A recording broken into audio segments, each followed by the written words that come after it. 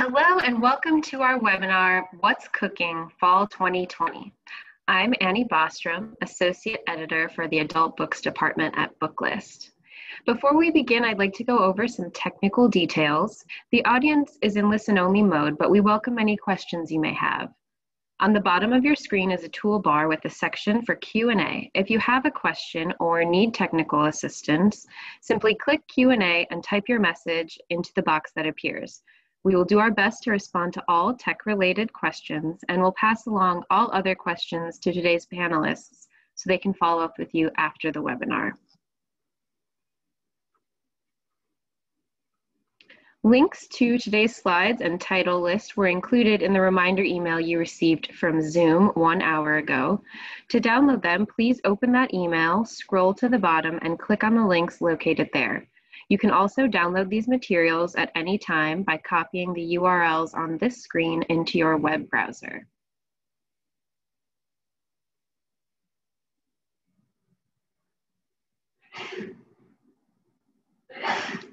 Today we have the pleasure of hearing from Annie Mazes, Manager of Library Marketing and Sales at Workman Publishing, Stephen Sussman, Sales Director at Skyhorse Publishing, Elise Levine, Director of Sales and Marketing at Shadow Mountain Publishing, Tara Teaspoon Bench, food editor and author of Live Deliciously, which publishes on October 6th, and Sarah Tansley, branch manager of the Roden branch of Chicago Public Library.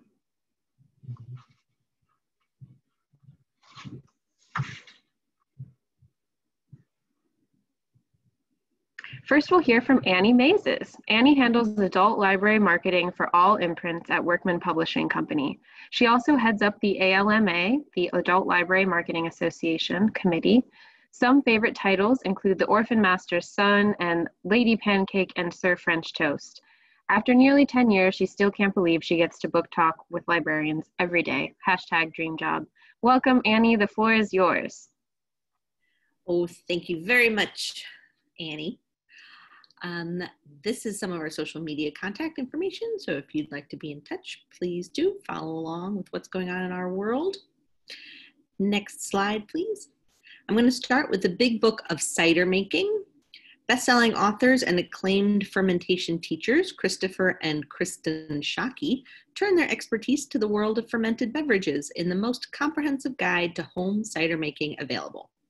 With expert advice and clear step by step instructions, the Big Book of Cider Making equips readers with the skills they need to make the cider they want. The Shockeys' years of experience cultivating an orchard and their experiments in producing their own ciders have led them to master formula for cider making success, whether starting with apples fresh from the trees or working with store bought juice. They explore in depth the different phases of fermentation and the entire spectrum of complex flavor and style possibilities. This thorough, thoughtful handbook is an empowering guide for every cider maker, from the beginner seeking foundational techniques and tips to the intermediate cider crafter who wants to expand their skills. This book goes on sale now. Next up, we have The Field Guide to Cheese, which is my happy place. This is the ultimate guide to the world of cheese and the only fully illustrated cheese reference. It begins with a history lesson on the creation of cheese, offers a primer of the many types of milks and categories of cheeses, and then leads readers to an encyclopedic survey of over 400 global cheeses. All illustrated. It's really beautiful. There are cheeses that we all love, like feta, fontina, gouda, mozzarella. That's my Staten Island accent coming out. Pecorino Romano and Chèvre but also rarities like King River Gold, a washed brine cheese from Australia, Dancing Fern, a raw cow's milk cheese from Tennessee, and Danbo, a semi soft aged cheese from Denmark. Fine cheeses that are best for melting, that are best served alone, the, the ones that are the stinkiest. A global collection of maps places each cheese to its origin, and readers can take their knowledge even further by reading up on the microbial life of cheese and the science behind our tasting palates. Plus, there are pairing menus. Packed with information, this book is for professional cheesemongers just as much as it is for those who just simply love cheese. This is available now. Next up, we have Give Me Liberty and Give Me a Drink, which is a lot of fun. Across this nation, in breweries and liquor stores, bars, and even in our own homes, we are being stripped of basic boozy rights. Thanks to Prohibition and its 100 year hangover, some of the most outdated, bizarre, and laughable laws are still on the books today, and they center around alcohol and how we drink it. In New Mexico, dollar margaritas are illegal. In Utah, cocktails must be mixed behind a barrier called the Zion Curtain. And no happy hours in Massachusetts, the state banned it in 1984. Created by the nation's leading alcohol policy expert, Give Me Liberty and Give Me a Drink combines these hilarious laws with 65 recipes for classic and innovative cocktails. So arm yourself with a mezcal based one pint, two pint, inspired by Vermont's ban on beer pitchers, or the Boiling Point, a beer cocktail that's highly illegal in Virginia. And get ready to drink your way to revolution. This is available now. Instant Pot cheese. I've got cheese on the brain today, apparently. The beloved Instant Pot can be used to do just about anything caramelize onions, boil eggs, steam rice, and now you can make cheese. Cheese making is a multi-cooker is not only time and money saving, but the cooker's accurate and consistent temperatures make it an ideal tool for the craft. Claudia Lucero is the author of best-selling One Hour Cheese, and she presents the cheese making basics like you know, cheese making basics and then covers classics such as paneer, ricotta, goat, and easy cottage cheese before introducing more sophisticated options like burrata and feta. She even has dairy free alternatives. This will be available September 29th. Baking at the 20th Century Cafe is beautiful. It transports readers straight to the grand cafes of Europe and brings renewed attention to the legendary sweet and savory baking recipes of Central and Eastern Europe. Michelle Polzin, one of San Francisco's best pastry chefs, pays homage to the foundational desserts of so many cultures while lightening lightening and modernizing the recipes through her California lens. Her fruit desserts, nut based desserts, and chocolate treats, many of them gluten free, are smart, interesting, and foolproof and deliver big flavor. Polzin's coveted honey cake recipe is included too, that's the one on the cover, along with the recipes for plum kuchen, walnut hamantaschen, Linzer torte, poppy filled rugula, vanilla cheesecake, even pierogi and potato ganaches, all full of twists and innovations. All of the recipes are written with Polzin's quirky, relatable, you can do this enthusiasm to ensure readers that they can achieve excellent results. Following in the footsteps of such esteemed bakers as Nancy Silverton and Dorie Greenspan, Baking at the 20th Century Cafe offers a new entry into the essential baking cookbook canon. This will be available October 13th. From the creator of Skinny Southern, Emmy Award winning chef Lara Lyn Carter, comes another collection of delicious, nutritious versions of your favorite Southern foods. Satisfy your cravings with completely gluten free, dairy free, refined sugar free baked goods that do not skimp on flavor. The recipes included lightened up Southern staples like lemon squares, ginger snaps, and herb biscuits, alongside incredible and surprising combinations of Southern flavors like pumpkin cranberry pecan bread, sweet potato meringues, and lemon blueberry cream pie. With sections about making your own nut butters and refined sugar-free jams and fruit butters, Skinny Southern Baking reimagines Southern baking with style and simplicity. Lara Carter is considered Georgia's go-to authority on Southern entertaining. She's converted to healthy, clean cooking and shares her vast experience and array of healthy Southern recipes in this groundbreaking cookbook. That will also be available October 13th. So this book is a little bit pricey and not for the novice chef, but I would be completely remiss if I didn't include it because it is incredible and it is from one of America's most acclaimed chefs, Thomas Keller. Bound by a common philosophy, linked by live video, and staffed by a cadre of inventive and skilled chefs, the kitchens of Thomas Keller's celebrated restaurants, the French Laundry in California and Per Se in New York, are in a relationship unique in the world of fine dining. Ideas bounce back and forth in a dance of creativity, knowledge, innovation, and excellence. It's a relationship that the very embodiment of collaboration and of the whole being greater than the sum of its parts. And all of it is captured in this incredible cookbook with meticulously detailed recipes for 70 beloved dishes, including smoked sturgeon roulets on an everything bagel, tomato consomme, celery root pastrami, steak and potatoes, peaches and cream. Just reading these recipes is a masterclass in the state of the art of cooking today. Learn to make the crunchiest coating with a cornstarch, egg white paste, and potato flakes. To limit waste in the kitchen by fermenting vegetable trimmings for sauces with an unexpected depth of flavor. Throughout, there are 40 recipes for the basics to elevate home cooking. It is truly a work of art. And it is available October 27th. Pie Academy is so much fun. Who doesn't have time for pie? Whether it's blueberry, pineapple, pina colada, triple layer pumpkin chocolate, ricotta pie with chocolate and toasted almonds, or a classic lemon meringue, Ken Haedrich, Dean of the Pie Academy, dishes up the how to for bakers of all levels, from the first timer to the pie passionate. Step by step instructions and photos offer reassuring guidance and reveal the secret ingredients of truly great pie, such as the best tools to use, recipes for crust and pastry variations, including gluten free, whole wheat, and extra flaky, how to bake with fresh versus frozen fruit, suggestions for decorating pies with cutouts and dough designs, and so much more. Library Journal Starred Review says the wide ranging, well curated mix of classic and contemporary recipes and expert advice make this an essential primer for avid home bakers. Available October 27th. This is such a cute cover. Mochi, the traditional Japanese treat made of chewy rice dough, is a popular and versatile vehicle for all kinds of sweet and savory fillings and easily molded into adorable shapes and characters that define Japan's culture of cuteness. Food writer Kaori Becker's easy to follow techniques for creating and cooking with mochi deliver the perfect mix of fun and tradition. Each colorful page brims with recipes for hand pounded, steamed, and modern microwave mochi, fillings like rosewater, Nutella, black sesame, Oreo cream cheese, and Japanese plum wine. Mochi focused goodies like bacon wrapped mochi, ozoni soup, baked goods, and inspiration for shaping irresistibly charming mochi flowers, baby chicks, pandas, and more. This is available November 24th. Not a cookbook, but a very helpful food reference. From two best-selling authors and activists in the vegan community, this is a very readable guide to the why of going vegan rather than the how.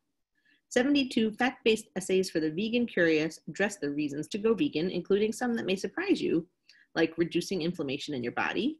It also affects where your tax money goes, and it could even improve your sex life. You can ward off Alzheimer's, type 2 diabetes, rheumatoid arthritis, and other metabolic diseases. You can still eat delicious burgers. You also help save the planet. So whether because of environment, health, or compassion for animals, more and more people are trying Meatless Mondays, choosing Impossible Burgers, or helping books like Thug Kitchen, Forks Over Knives, and Skinny Bitch become national bestsellers by becoming vegan. This is available December 15th. Cooking Through Cancer is an excellent resource for combating symptoms caused by treatment and for enhancing the recovery process. Written by Richard Lombardi, the cancer fighting chef and a cancer survivor himself, and packed with nutrient-rich recipes, some from Richard's own award-winning restaurant, and conveniently organized by tabs for delicious food during treatment and recovery. Each recipe is powered with cancer-fighting ingredients, which are called out on the sides of each page. And because cooking can be tough when you're recovering from treatment, this book is packed with helpful shortcuts, kitchen basics, a quick reference list, and a sample grocery list. Even better, Cooking Through Cancer includes 10 kid friendly recipes that the whole family can enjoy, plus recipes from professional chefs and celebrities that have joined the fight against cancer, including Jay Leno and Mark DeCarlo. This is available February 2nd, and that is it from me. Thank you so much. Thank you so much, Annie. Next, we'll hear from Stephen Sussman. Stephen has been in book publishing 47 years. He began his career as an assistant book buyer in a college bookstore in 1973. He left that job in 1976 to go to work as a publisher's rep on the road. Since then, he's had an extremely rich and varied career. He's worked for 12 different houses and is still standing, from small and mid sized independent publishers to the largest corporate houses. He has experience in every facet of book sales and marketing and has sold every type of book to every type of buyer. At this point in his career as a sales director, it doesn't matter what you call him, what matters is that he still enjoys the work. Skyhorse has afforded him the opportunity to expand his horizons. In addition to his sales responsibilities, he now acquires rights to books from all over the world. That's fun. Take it away, Stephen. Thank you. I thought I'd put my face on here so you could all see how cute I am, um, even after 47 years in book publishing. Um, I like to say that I, we all share a common element that I am happy to marry my livelihood with my passion. So um, I love being around books and have been for my entire career. So without further ado, first slide, please. Okay, oh look, a booklist starred review. Um, this is for the Chilean Kitchen, which is new uh, this fall. Um, it's going to be published in October. This is a, um, a wide-ranging look at foods from Chile and how to make them, both seasonal recipes, stews, breads, as you can see from the cover. Um, you've got the full review there, and um, I wanted to say uh, thank you very much, Booklist. Okay, next slide. So I've taken a different tack to my presentation. Annie Mazes was great, um, but I like to think that I, I, should give you an introduction to Skyhorse. Um, we're a mid-sized independent publisher based here in New York. Um, I should say that we have uh, 9,000 titles in our backlist. Probably between 5 and 10% are cookbooks. Um, our cookbooks range from healthy cookbooks, decadent cookbooks, wine, beer, um, cooking with wine, cooking with beer. And I'll just show you a few examples as we skim through the backlist. Um, I have 36 categories here, and I don't intend to spend uh, a lot of time on each one. You've got the PowerPoint, you've got a list of titles, um, and you can uh, see more in detail on your own. So we're publishing uh, just now uh, a bunch of healthy titles. Um, as you can see, uh, keto, vegan, gut health. Next slide, please.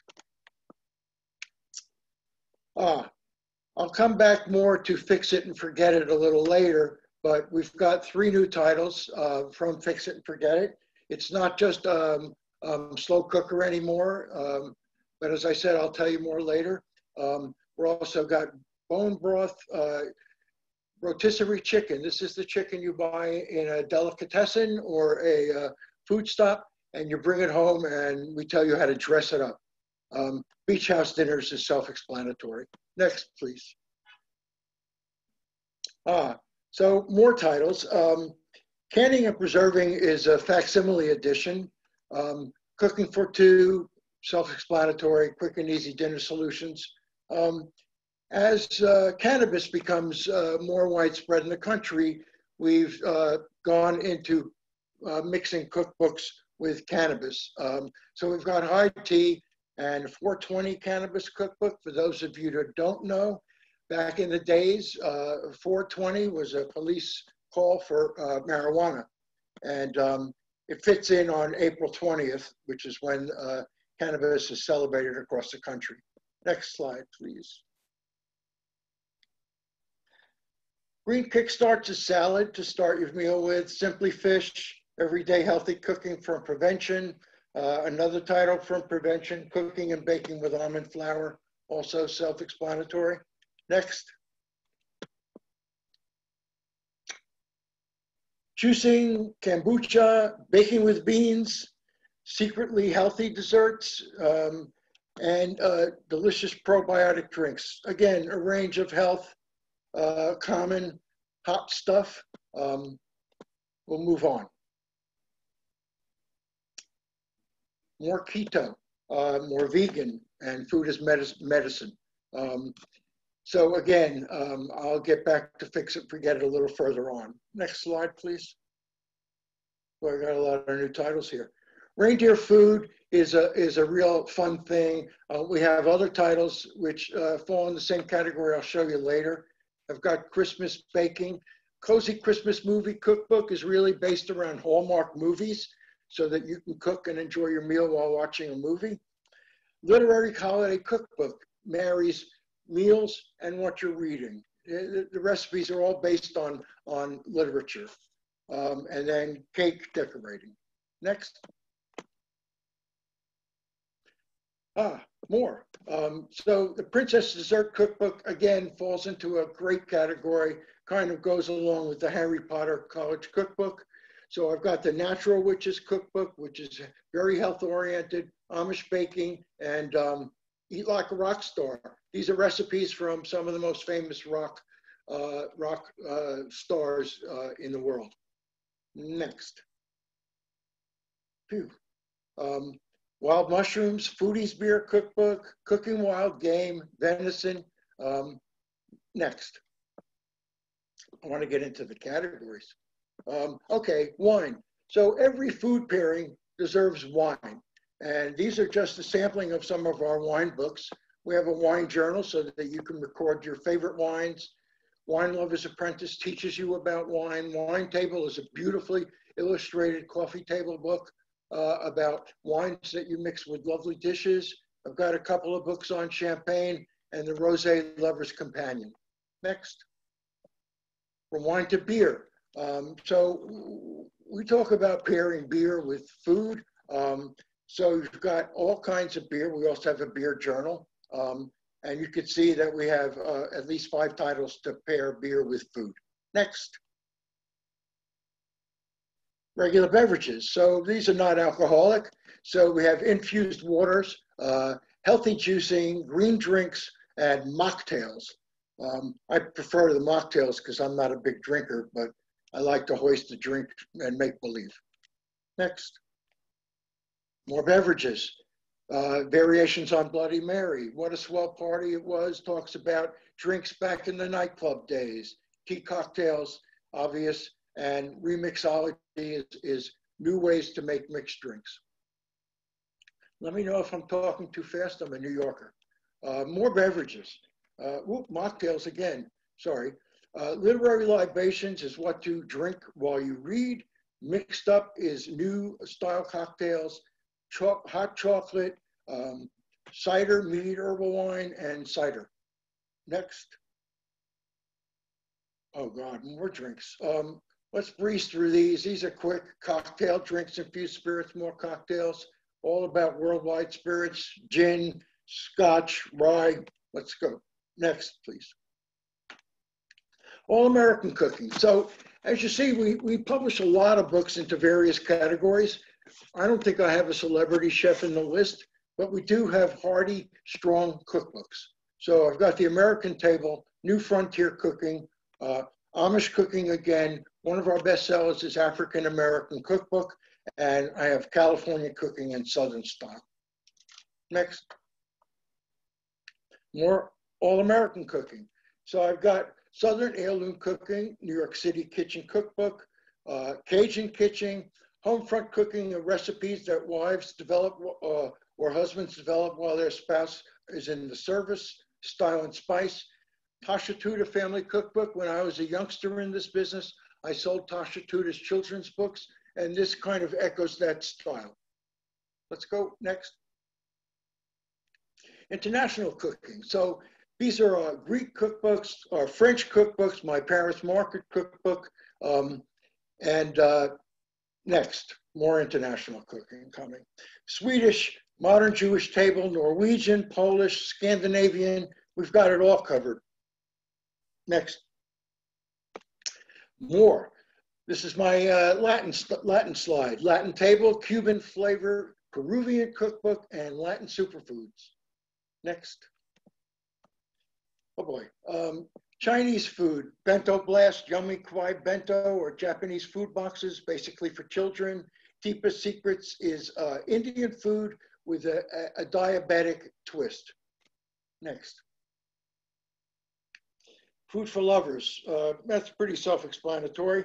Recipes with history, these are both recipes from um, early American and medieval times.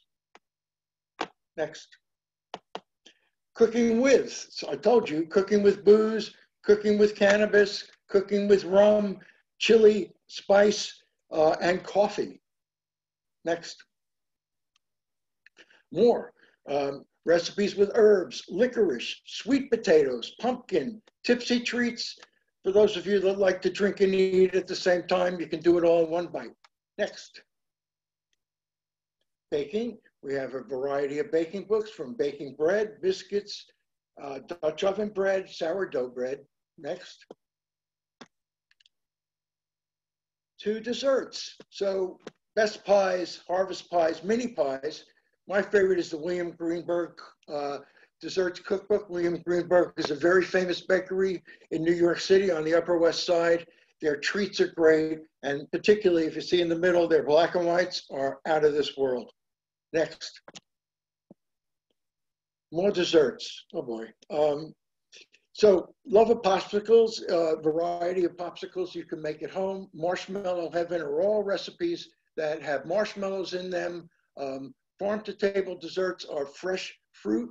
And uh, let's see, what's down there are rose petal cooking and then peanut butter comfort. Next, more desserts. Creative Cookie Decorating is uh, one of our best-selling cookbooks um, or baking books. The uh, author appears on Hallmark Channel and uh, other TV shows constantly. Then I've got Norwegian cakes and cookies, amazing cakes, bakes, and Austrian desserts, Linzer tart and such. On, onward we go. Healthy eating. So smoothie bowls combines nice bowls with smoothies, avocado, sorry, avocado cookbook, and then I've got two book, two cookbooks for aging gracefully and one to make you stop worrying. Next. More health. Um, so hormonal balance, non-GMO, healthy juicing, healthy matcha, and low oxalate anti-inflammatory cookbook. That's a mouthful. Next. Haha. So real food, really fast, health food, spice for life, spiralize, intermittent fasting, sugar detox, and healthy indulgent, all designed, recipes designed to make you healthy, obviously. Next. More. Um, so this is uh, basically kale, vegetables, um, GM, non-GMO, quinoa. Um, again, I don't need to go into detail. Next slide, please. Uh, more chickpeas, clean cooking, cooking with Leo. These are all uh, Leo's uh, healthy recipes, more juicing, and chia seed cookbook. I think you get an idea of the variety of our list. Um, healing tonics, juices, and smoothies, healthy drinks, and the Green Isle is probably our best known. Um, they make great uh, smoothies, slushies, and, uh, and uh, green drinks. Next. These are uh, cookbooks that uh, have a nutritional balance and um, help to, uh, to, one minute left. Oh my God. Next slide. Paleo. Next slide. I've got a minute. Um, gluten-free, obviously. Next slide. I just want to get to, um, keep going. I want to get to good books. Uh, keep going. Sorry. Keep going. More uh, cooking for kids. This is a lot of fun. I have recipes that come from Harry Potter, from uh, um, all kinds of fantasy, and these sell really well. Um, next.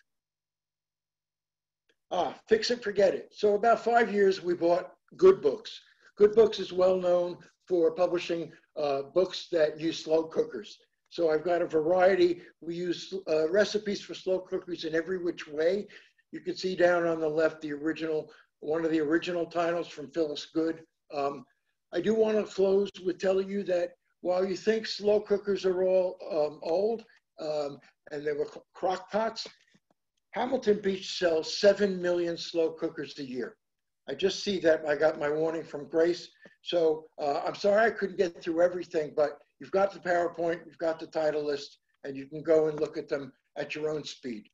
Thank you.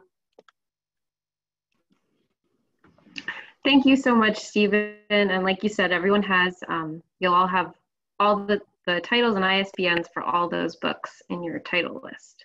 So we'll now hear from Elise Levine and Tara Teaspoon Bench. Elise is Director of Sales and Marketing for Shadow Mountain Publishing and is a veteran book publishing professional who has worked on a wide range of books from Nickelodeon to Nancy Drew Mysteries to the Arden Shakespeare. She left New York City to move west to join Shadow Mountain. And Tara has spent more than 20 years in the food publishing industry, creating recipes and articles and food styling for various magazines, books, television, and advertising. Most recently, she has been the food and entertaining director for Ladies Home Journal magazine. Prior to working at the Journal, Tara was a food editor at Martha Stewart Living, Kids, and Wedding magazines, Weddings mag- magazines. She has appeared on the Martha Stewart television show, The Today Show, and on the Food Network as a show judge and contestant. You can learn more about Tara at her website, tarateaspoon.com. Uh, thank you so much, both Tara and Elise. Thanks. Um, I'm Tara Bench, and I'm often called Tara Teaspoon. So I'm here to present my debut fall cookbook, Live Life Deliciously, and I'm so excited. I'm going to tell you why I wrote it and what I've learned in 20 years of being in media cooking, both in magazines and on TV. And I'll talk about my cooking point of view and what audience I'm writing for. So, cookbooks to me are everyday useful, but they also reflect a culture and an era. Even though I live in a small New York City apartment, I have a major cookbook collection. I love them from vintage cookbooks from the early 1900s to the fondue craze cookbooks of the 70s to classic standards, which amazingly stand the test of time, like The Joy of Cooking and Mastering the Art of French Cooking and Rick Bayless's Mexico, One Plate at a Time, and many, many more. And like many of you, I sometimes flip through these cookbooks with no intention of cooking at the moment just to remind me of another era or transport me to another culture or allow me to be a culinary traveler to far off locales. Um, to have my own cookbook enter the marketplace and your homes and your libraries is truly a dream and an honor. So let me tell you why I wrote it. Um, I consider myself a culinary educator first. I want to get the right tools into the hands of cooks and I want cooking to be a way to build traditions and make memories. And I want to show you how that's possible and enjoyable at the same time. And I have four pillars of culinary perspective sound, sight, taste, and memory. And they all play into how I wrote the book. Memory to me is an important part of a culinary experience. You know, when um, when I wrote my cookbook, I peppered it with those first taste and food sensory memories. Um, when I think of my mom cooking, my memory goes right to a skillet of sauteing onions, and that smell and sound says dinner to me. It says family, home, and comfort. And I spent my childhood cooking with mom and grandma. Family get togethers revolved around beautifully prepared meals, even if it was just breakfast. And whole wheat pancakes, the recipe in my book, as you see on the bottom right, is my enhanced version of grandma's, minus the, the much beloved um, sound of my grandmother's blender cracking that wheat. As a young adult, let's see, I think, are we on to the next slide? As a young adult, I moved to New York City and it vastly expanded my culinary point of view just by having so many cultural food choices and flavor profiles, which were all new to me. I remember eating my first pork buns at a tiny Asian restaurant in Queens, New York. It was a delicious and eye opening experience, having grown up in the West with very little authentic Asian food. With the recipes in my book, I want my readers to have those aha moments of, I didn't know I liked tater tot nachos, or chimichurri sauce. But really, who doesn't like tater tot anything?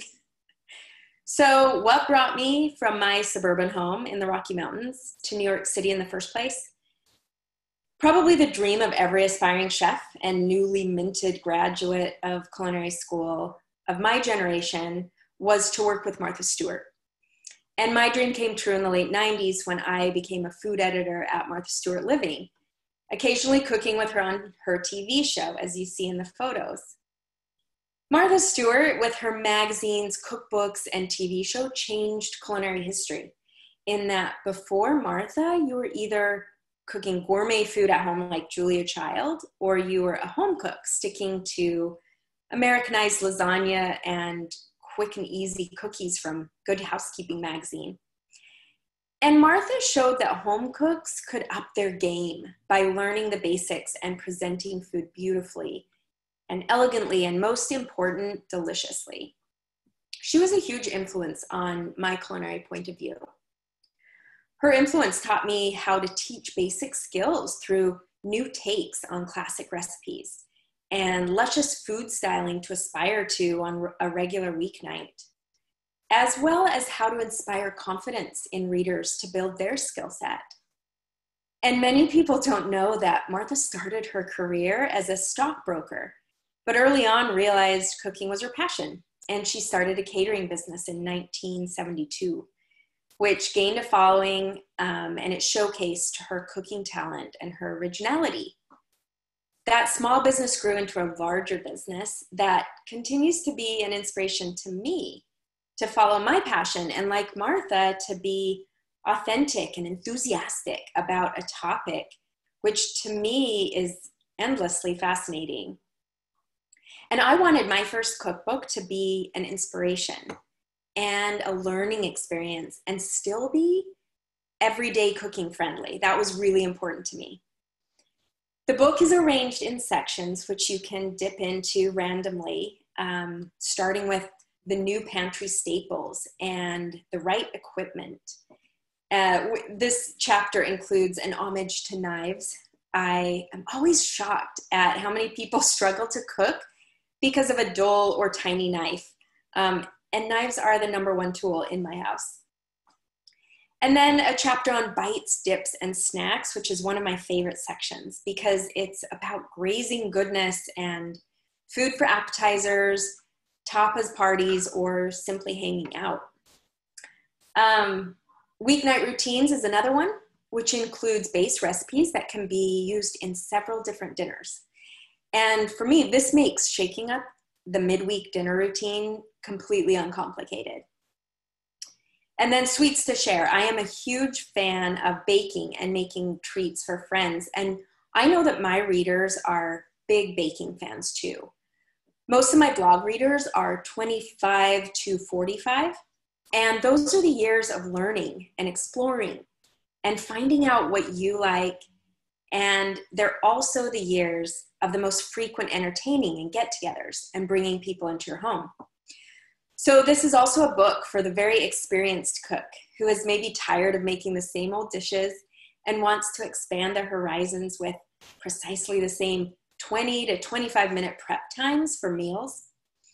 And you know, why not upgrade your cooking game to caramelized onion and smoked Gouda mac and cheese, or bacon wrapped sweet potatoes, or a tomato and Roquefort steak flatbread. And these are all easy, accessible recipes. I've calculated that I have developed and created about 10,000 recipes over the course of my career. And so adding new spices and sauces was completely essential to keeping things interesting and fresh. And of course, necessity is the mother of invention.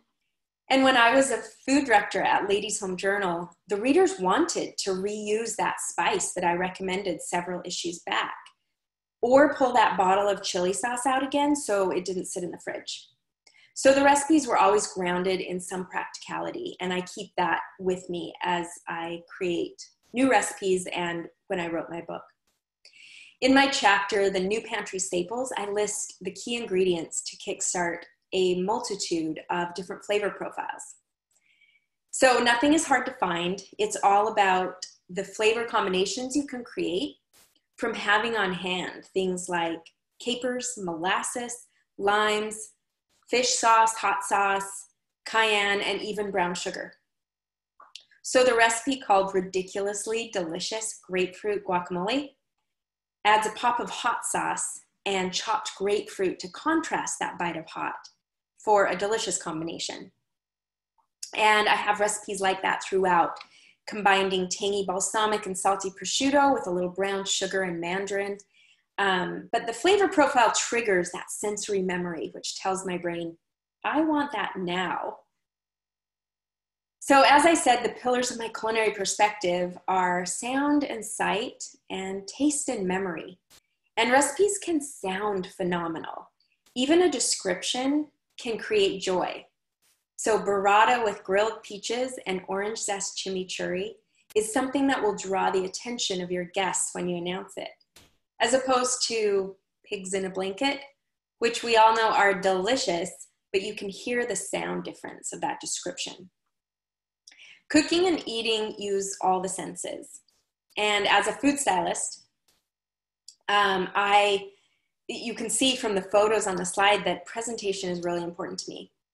I love food that looks amazing, both in real life and entertaining, but also on social media, which, as you know, has become a virtual dining room, especially now during the pandemic. So I encourage eating foods that taste good, and so you remember that experience of eating it. And I say try new foods and flavors and find more to love. That's what's in my book. Is for instance, you pretty much cannot leave my home without trying rosemary olive butter, and I am convinced that it's impossible not to crave it once you start down that path. I wrote this book for all those reasons and as a way for people to use their creativity to explore cooking and share it, just like I love to. So I thank you so much for spending time with me and listening to me tell about my book and my history. And I hope you will type in any questions into the chat and I'd be happy to answer at the end of this webinar. So continuing on with Shadow Mountain Cookbooks, let me turn the time over to my co-presenter, Elise. Okay, thank you. I'd like to tell you about Six Sisters Stuff cookbooks. Their 10th cookbook coming out in January, just in time for that post-holiday period where everybody wants quick and easy. And this is Instant Pot cooking. And I realize that there are a lot of Instant Pot cookbooks in the marketplace, but as a buyer said to me recently, that's true, but I want to hear what the Six Sisters have to say about it. And they are a brand, they're a trusted brand, and they've been around for a while, about 10 years. They are a real presence in social media. Their blog gets about 4 million views per month. And more recently, they've become really popular on YouTube. Their video, Instant Pot Recipes for Beginners, has half a million views on it. And really, all of their Instant Pot demos are amongst the top ranked for them. So this book comes directly from the interest from their readers and their followers. In case you missed it, from spring 20, they did Healthy Eats with Six Sisters stuff. Healthy for the Six Sisters is not kale. This is more about making quick and easy flavor and ingredient substitutions. So natural food substitutions to avoid sugar and processed foods. Recipes include uh, egg roll in a bowl and cauliflower crust pizza. And then Copycat Cooking is a recent book, and I think this is a phenomenal recipe book. It, they replicate all of the favorite recipes, the signature dishes from popular restaurants. And this would be a great cookbook during the pandemic when people are not going out. So some examples would be IKEA Swedish meatballs, um, Disneyland mint juleps, and Chili's molten lava chocolate cake. These two titles are their best sellers. Dinner Made Easy was praised by Booklist as having recipes that are truly time savers and have quite clever tips and techniques. Um, so sections here include 30 minutes or less, slow cooker, freezer meals, and so forth. And their all-time bestseller happens to be their first book, which is The 12 Days of Christmas. And it has recipes, sanity-saving tips, and so forth. Let me go quickly to the next slide. Raised in the Kitchen by Carrian Cheney. This is a book to get kids involved in the kitchen very early. And this author remembers as she was a kid learning from her mom and her grandmother. And so the book has all sorts of sections covering food prep, cleanup, meal lists, recipes, and features such as activities to keep things fun in the kitchen. 75 recipes starts out with easy things like baked potatoes, and then it gradually progresses as kids pick up basic cooking skills, next slide, to things like carmelitas and chicken parm and frozen yogurt. It also includes lessons on kitchen etiquette, hygiene and food safety, and how to set the table. Next slide. Quick mention of our Cozy Culinary Mystery Series by Josie Kilpack. 14 books in all. They are all standalones in there. And final slide, you will get an email from me later this week with information where you can download and request ebook review copies on Edelweiss or NetGalley. Thank you so much. Thank you so much, Elise and Tara. Our final presenter today will be Sarah Tansley. Sarah is the branch manager of the Roden branch of the Chicago Public Library, a booklist cookbook reviewer, and an all-around cookbook enthusiast. Thanks so much for joining us today, Sarah. Hi. Um, so thanks for the introduction, Annie. Um, I am a 20-year public library veteran with a real passion for cookbooks. Like Annie said, I review for Booklist. Um, I host a cookbook club here at my library, and I'm currently serving my third year on the RUSA Codes Cookbook List Selection Committee.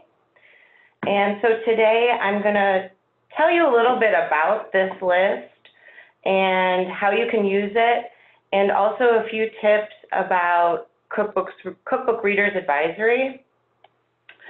So the Codes Cookbook List is a yearly list of outstanding culinary titles um, chosen by a committee of librarians um, and like-minded folks. Um, I'm going to go over our criteria so you have an idea of what we're working with. Um, we, all the recipes are um, well conceived and explained in our books. Um, they offer uniqueness of subject, approach, or voice. It is thoughtfully or excellently produced, and this includes book design, layout, and the photography and illustration. Another criteria is that they're a pleasure to read and they have some literary merit. Um, we also want these books to make a significant contribution in the field. Um, and we want them to embody a standard of its type or to be to a new or unexpected take on those standards. And then these works are of lasting importance. Um, so you can use these lists to purchase with confidence. If you know nothing about cookbooks, you can take a look at these 12 titles um, from 2019 and 2018 and really have a good handle um, on Reader's Advisory and what um, you can provide for your library for collection development. Um, let's see. Um, so a little bit about Cookbook Reader's Advisory. Um, I'm going to share three titles with you in a second um, that are from last year's list, and they're really RA no-brainers. Um, but first, I want to talk a little bit about um, your patrons and um, how you find out what they're looking for. So first, the first question is, is your, um, is your patron a home cook or is your patron a cookbook reader? Um, remember, with the rise of cooking TV, more and more of us are aspirational cooks. Um, we're reading the cookbooks, we're not cooking from the cookbooks, and so we're looking for voice and place much like we do with like traditional um, RA fiction categories. So how do you know who is who? Well, your home cook is going to start the conversation bragging a little bit about what they made from the cookbook that they're returning or what they're talking about with you. They've made recipes from the book, okay? Your cookbook reader are going to talk about everything else in the book. Your cookbook reader is going to talk about the stories, the voice, the place, the photos, the layout, because they're really paying closer attention to that. So let's look at some examples. Next slide. So this first book, um, I have to say, well, these all are my favorites from last year. Um, they all, all of the titles have a lot in common. They're really fantastic to cook from, and they're really fantastic to read. So that's why they're RA no-brainers. So this is Midwest Made Big Bold Baking from the Heartland by Shauna Sever. This is a beautiful nostalgic book that chronicles the history of Midwest baking. It's well researched on regional histories our favorite baked goods. Reading this book is like taking a trip back to your grandmother's kitchen. It's all kinds of regional favorites. It's so nostalgic and charming. And, and besides that, it's a great cookbook. So everything you make turns out awesome. It's just really, really fun. Um, so this one I would recommend um, for bakers and aspirational bakers. Next slide. So this one, Feast of the Seven Fishes, of Brooklyn Italian's Recipes for Celebrating Food and Family by Daniel Paterna is also very nostalgic. This shares Daniel's roots, um, and it's also a love letter to his Brooklyn neighborhood. So this one's really unique because it's really it gives you a sense of place. Um, you go from shop to shop, meeting um, Bensonhurst, butchers, bakers, pasta makers. They're all interwoven with amazing recipes. You have to try the eggplant parmesan. It is killer. Um, but besides that, it's just really, really personal and touching, also nostalgic. But what with the unique sense of place, this makes you feel like you just went on this trip. Or maybe that's the first thing you're going to do when we can finally travel again. Next slide. My final selection here for kind of RA, you can't go wrong, is Jubilee, Recipes from Two Centuries of African American Cooking by Toni Tipton Martin. This is really steeped in history. Um, Tipton Martin um, celebrates and researches the African American foodways um, of our history. They're beautiful, beautiful, beautiful, beautiful photos. The stories are rich. The food is even richer. Um, but like one of the great features of this book is the recipes um, are paired with recipes she's found from research that goes all the way back to the 1700s, um, original cookbooks, where original recipes came from. So this is really great for people who love the history of food. Also a great cover to cover read.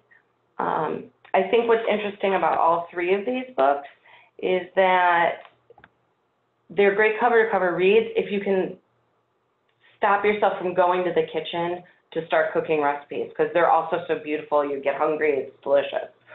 Um, I'm going to wrap up with a few um, final thoughts. One is if you have the passion for cookbooks, um, please consider joining RUSA's Codes Cookbook Committee for next year. We're always looking for eligible people who um, have the time and energy to really look at a lot of cookbooks during the course of the year. Don't be intimidated by cookbooks and Cookbook RA. Even if you're not a cook at all, you probably watch the Food Network. You're qualified. That's all we, it really takes is just to be able to appreciate the book. And then remember when you're doing Cookbook RA, um, it doesn't need to be a perfect match for your patron because cookbook enthusiasts are also part critic. So cookbook enthusiasts um, enjoy a miss as much as they enjoy a hit, and they're happy to talk about um, cookbooks that aren't perfect for them or what they like or don't like about a cookbook just as much as ones that they love. Um, so be open, just kind of know your collection and be willing to share those books with people. Thank you. Thank you so much, Sarah. Thank you so much for joining us today. A huge thank you to all of our wonderful panelists today. Tomorrow, everyone will receive an email containing links to today's slide presentation, title list, certificate of completion, and video recording. For more about Booklist webinars, be sure to visit booklistonline.com slash webinars, where you can view archives of past programs and register for upcoming ones like those you see here. If you haven't already, be sure to check out Booklist Reader, where Booklist contributors post daily about all things books and library land. And did you know that Booklist content is freely available to all for one more week? And I'm especially excited about this because our food spotlight issue, our October 1st issue, will mail on Thursday, I believe, and be live on our site. So please check it out for um, all subscribers and for everyone for the next week. You can start reading with our digital edition, a format that pairs the page by page reading experience of print with the convenience of online access at booklistonline.com and lock in print, online, digital, and archive access by taking advantage of this special webinar offer to get Booklist for only $75. Thank you so much for joining us for today's webinar. One more thank you to our panelists and our sponsors, Workman Publishing, Skyhorse Publishing, and Shadow Mountain Publishing. This concludes today's webinar.